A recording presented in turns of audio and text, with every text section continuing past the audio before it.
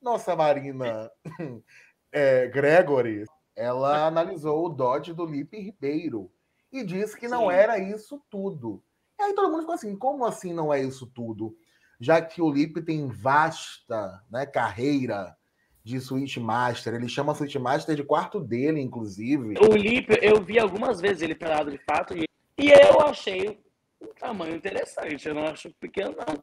Acho que ele tava dormindo, coitado, né? A Marina beijou o pau dele, o menino tava murcho, no frio, gente. Não dá, né, pra, pra ter uma comparação interessante disso. Porque às vezes a imagem do Cruzeiro ela resplandece, né, Gabriel? Você não dá nada por aquilo. Palco de novo, que vem a surpresa ali depois. Perfeito.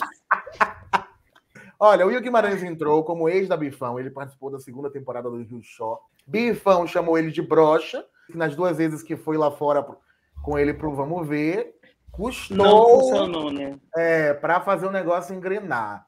Eu fui numa fonte que também foi pra cama com ele, Leite. Rendeu comigo nas vezes que a gente foi pro Vamos Ver. Então temos também um contraponto aí. Não, então, teve gente que eu conheço também que foi e disse que é babado. Você viu o Dot lá? É vídeo de todo mundo. É agradável? É, mas é, o do, o do Lipe é, é mais. É, menina! Olha, Larissa, tô passado, hein? Final do Aue desse ano, Lady Mancha. o maior é- não é nenhum dos dois, não. Quem é?